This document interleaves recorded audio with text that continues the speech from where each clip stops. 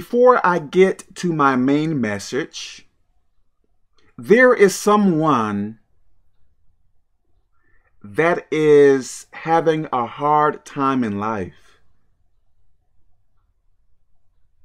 That person may be my enemy.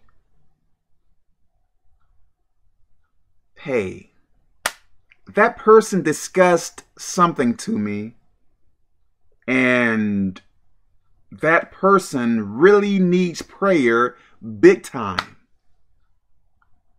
So much prayer. Yes, that person may be my enemy, and I may be very soft hearted. But while I was thinking about that person, I was tearing up. Is it bad for a man to cry? I guess that is a joke. Don't tell anyone I was crying. I'm joking. Anyways, let me get to my message. Let me say this as well. Some people may believe this life is all about you, like yourself, as in this life is about enjoying yourself, minding your own business, about you, which is so untrue. This life is about not only about yourself, but about other people. We can't only be concerned about ourselves, only about ourselves. We have to be concerned about other people. If you say you are Christian and you are self absorbed, selfish, only caring about yourself, how can you be Christian? How? Was Jesus Christ self absorbed? No. Was he selfish? No. Did he only care about himself? Of course not. So, how can you be of Christ and be that way? Okay. Something, this was years ago, and I may not have all the information in order or totally accurate. But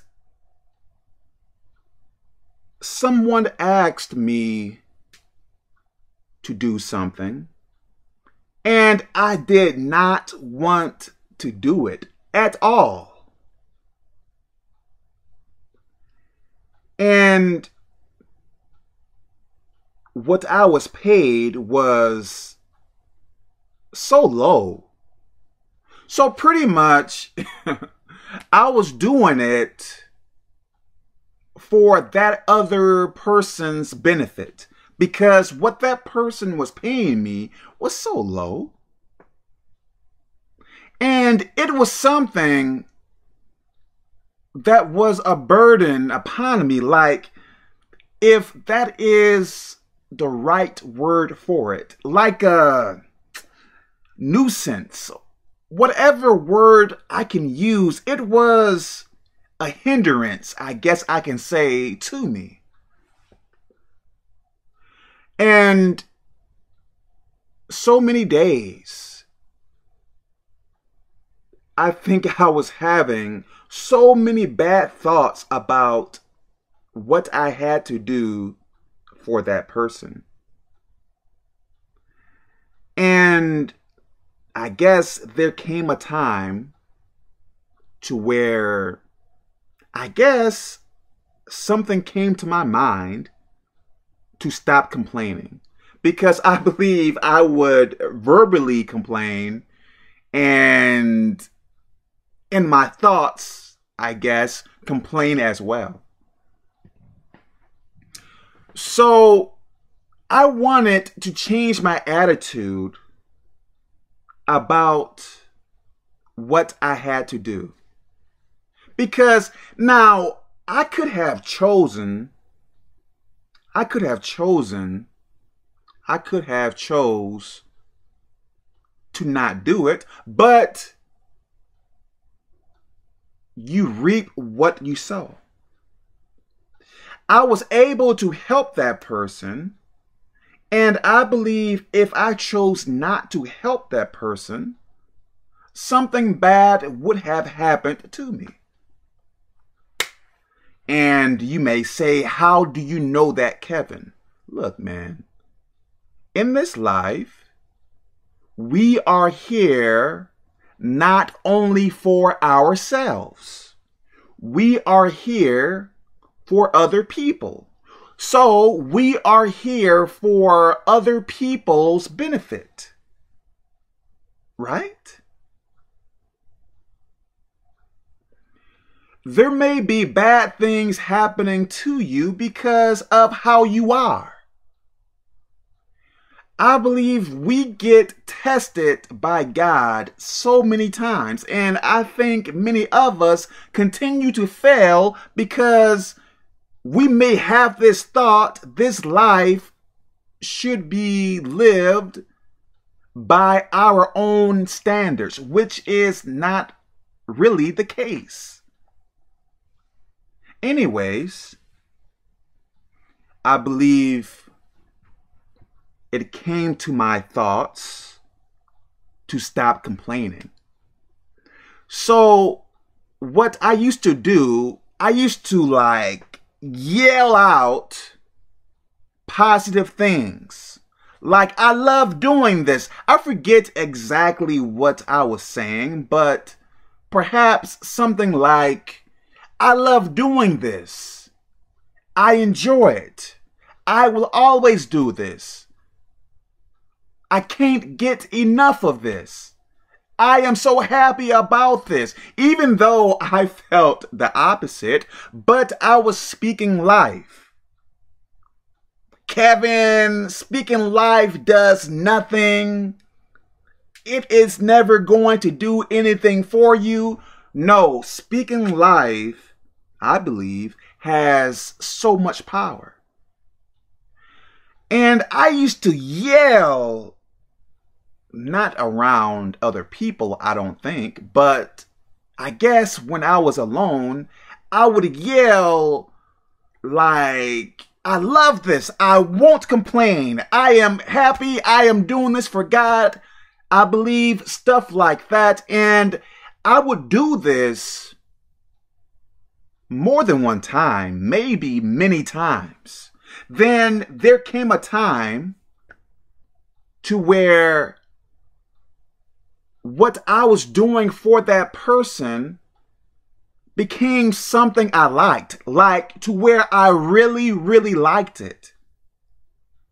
To where at first I hated it, then it came to a time to where I liked it because I believe I was speaking life. I was speaking positively about it, even though at that time I was feeling so bad about it. I did not like it. I was underpaid. I was doing stuff I did not want to do, but I believe it came a time to where I enjoyed it to a certain extent. Okay, you may ask me, Uncle Kev, what is your point? Give me time. Give me time. There are some things you may have to do for a person. Maybe you are trying to live for God now, and you may have to forgive someone you may have to interact with someone you don't. Hey, instead of complaining and whining and why do I have to go through this and stuff like that, began speaking life into what you have to do. Start saying, I love this. I like doing this. I love that person. And you may say to me, Kevin, isn't that lying? No. I believe the Bible, if I am not mistaken, I believe the Bible tells us to speak positively, right? I believe the Bible also say death and life, I may have this mixed up. Death death and life lies in the power of the tongue. Something like that, right? So, if I speak positively to what I want my feelings to be, how is that lying? Hmm? Should I say I hate this? You know, I want to die? You know, just begin saying really negative things and have it affect me. Why? Why should I do that? Why should I use my words as a weapon against me? Why should, if I am already having a difficult time, why would I use my words to beat myself up? Let me speak life. Let me speak positively about something I don't like. So if I continue to think positively, if I continue to speak positively, well, won't my feelings change? Won't my, I guess, perspective change as well? Back in my past, when I used to often do what is wrong, willfully and often do what is wrong. I learned back when I was in full out sin or lukewarm, maybe partially, no. Let's say full out sin. I learned, I believe I learned, focusing on my problems so much made me feel worse. So I developed, I guess, a game plan. Don't think about your problems until you have to deal with them.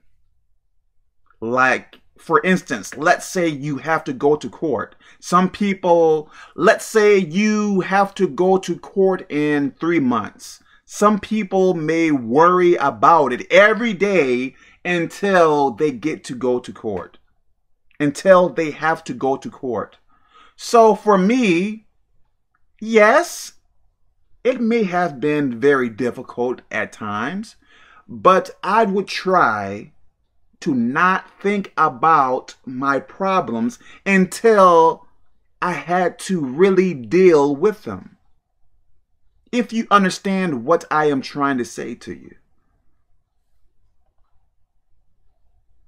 So, if there is something you don't want to do, but you know you have to do it, like forgive people, help people, and stuff like that, and let's say you are doing it now, start speaking positively about it.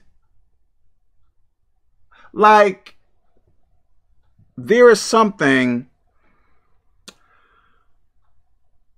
I don't really want to give out too much information. There is something I do, and when I was placed in it, I did not really like it. I started to look for, I believe I started to point out things I liked about it. Yes, I could focus on the negative, right? That thing has that problem. That thing has this problem. My feet hurt and my fingers hurt and all this stuff here. No. I believe I started or looked for, I guess. I like this. I like that it has this advantage, blah, blah, blah, blah, blah, blah, blah. And I like it. Yes, you know, there are some problems, but my feelings toward it is positive. Don't be the type of person you can only function well when everything is perfect. Like, if everything isn't perfect, you are going to complain, you are going to fuss, you are going to be depressed and cry all day and stay in your room and begin thinking about how to kill yourself and stuff like that. Look, man. Speak life. Think positively.